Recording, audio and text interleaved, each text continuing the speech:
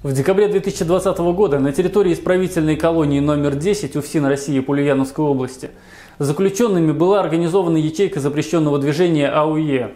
Преступная деятельность пресечена в результате совместных мероприятий региональных управлений Следственного комитета, МВД и УФСИН. Следствием проведены обыски в исправительной колонии. Были обнаружены запрещенные предметы – ножи, заточки, монтировки, мобильные телефоны, части устройства для изготовления спиртных напитков, игральные карты, а также иные запрещенные предметы и документы, свидетельствующие о противоправной деятельности и наличии криминальной субкультуры. Проводятся следственные действия, расследование уголовного дела продолжается.